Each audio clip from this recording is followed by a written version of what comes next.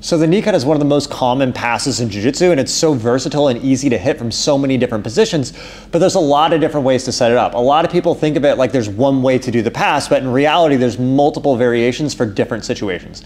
So I'm gonna go through some of the core ways I like to set it up and the core mechanics of finishing it. So the first thing to understand is that the basic idea of it is that I'm always gonna be pinning his lower body to face me and I'm gonna be rotating his upper body with some different way to put his shoulder blades flat to the floor and eventually finish chest to chest. Now the reality is there's a lot of different ways I'm gonna do this and there's a lot of different ways to turn him. Sometimes I'll be turning him by pulling his arm up as that rotates him this way. Uh, sometimes it might be like my head pressure and his chin turning him. Uh, it can be like a forearm pressure on the face. It could be like an underhook and like using my chest. It could be a cross face but there's always going to be some mechanism rotating our opponent to the center. And then my bottom uh, portion, I'm going to be either dropping my shin on his thigh or sometimes shooting all the way up. But I'm always going to be trapping this leg in between mine and rotating my upper body to try to flatten him towards the center. So now I'm going to go into uh, some of my favorite ways to set up against really common positions and the main details you need to know. So the first setup we're gonna do is from our opponent on his back with just his legs up like this. So if he's dead center, it can be really hard to do the cut. So what I'm gonna do is move to the side and push his leg down a bit. I wanna get his leg down enough that I can drop my shin here like this to pin this to the floor. But what I wanna do at the same time is try to, if I can, get inside of this knee space and frame my right hand to his shoulder or chest and I land here. Once I pin this leg to the floor, it's very hard for him to turn back the other way. And I wanna make sure, see, a lot of people make the mistake of having their body this way. It's very easy for him to push me out. I wanna go in with my upper body. Remember, your objective is to always put his shoulder blades flat to the floor.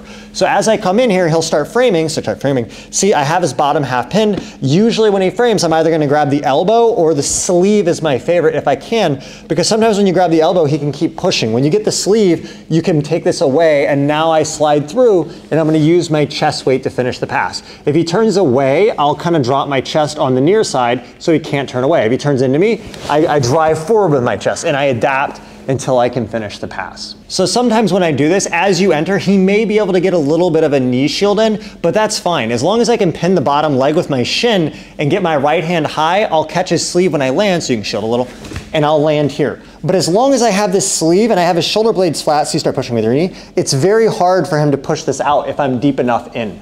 And what I'll do is I just keep controlling this sleeve until I work my way around and now I can come back into a knee on belly finish or straight into side. So one more time, I'll just turn this way a little bit.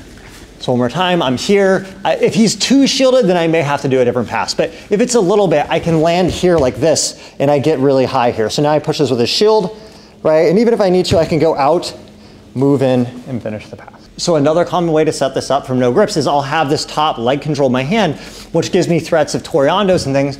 And as I enter, I'm gonna do the same thing, dropping my shin here, and I'm gonna try to catch his lapel or his arm if he frames me. So as I land, I catch here, and now he starts pushing with that shield, but that'll open the space up. Go back. Sometimes he can keep it here a little bit, and that's fine. I take my time, but see, I can start pushing this out of the way.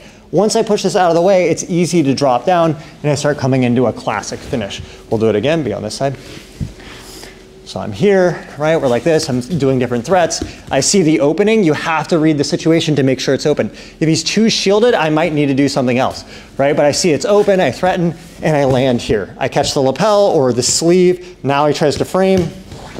I stay high, push through, and finish the pass. So another really common situation is as we approach the guard, instead of him being facing this way or centered, he's turned a little bit to the other side. So what I'm gonna do is I grab this foot and I'm gonna step in and start trapping this. This usually will cause him to grab my ankle or my pant leg on this side here, and this is commonly just called De La Riva guard. So even if he has the hook in, I'll just push it out and I have this position. From here, very often your opponent will be looking for your collar. So what I wanna do is as he gets this, I'm gonna cup his knee with my hand and I try to pull this leg through. I don't want it to be able to, to bump me under under the butt here, right? So I pull it through. Here he'll often get very stuck, and now as he pulls on the collar, it's very easy for me to pull myself through on the cut. And what I wanna focus on again is getting the shoulder blades flat, right? If his shoulders are on the side here, like this, it's gonna be hard to cut, even if I shoot my knee through good. But when he pulls, that's pulling me to impact the shoulder to pull. And you see I land with the shoulder here, flattening his shoulder blades, and now I can dig through, slowly break the grip and come into a different finish. Another common situation is I'll shoot in on the cut here and then my opponent starts to grab like a single leg grip here. Once they grab this single leg grip, it's a little bit different to pass because if I grab the sleeve to try to finish and I drive, he can bump me if he holds my sleeve back yeah, like this, then I get bumped and I can lose my balance. So instead what I do is once I get here, I'm gonna grab his sleeve, but I don't pass. I step my left foot high, I'll use my right hand on the low back here, and I start backing him up to center him. Once I center him, I'm gonna go really deep with my fingers behind the collar here, and I get my forearm on the face or the neck here, and I turn his head away first. Once I turn the head away, now he can't bump that way because his body's turned the other side. I post my hand, I keep my weight on the face here, can drive through so another cool way to get to it is when your opponent's sitting up. So sometimes we're grip fighting here, his hands are moving, and I'm gonna shoot for a quick underhook like this. I'm doing it on the other side. So I'm just shooting in here. Now we'll be back on this side. Right, so as I'm moving, I'm gonna shoot this underhook and I try to pull him to me as I'm gonna shoot my knee right through this gap here, right? So what'll happen is here, I like to tap his hands up a little first, and then I shoot through and catch that underhook. Again, I pull in here, he's probably gonna start to turn into me a bit, and then I'm gonna use my chest to try to flatten him down here and finish the pass. One more time.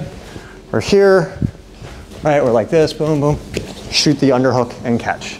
Now I can come in. It's very hard for him to turn into this because of this arm frame allows me to flatten him down to the floor. I could grab the arm and finish here. So another setup that's a little more simple than the quick underhook is just grabbing a lapel. When your opponent's sitting up, as you get close, they'll often fall to their back to set up some kind of open guard. So what I do is I get the lapel and now I drive in and as he starts to fall back, I'm gonna pull this really tight.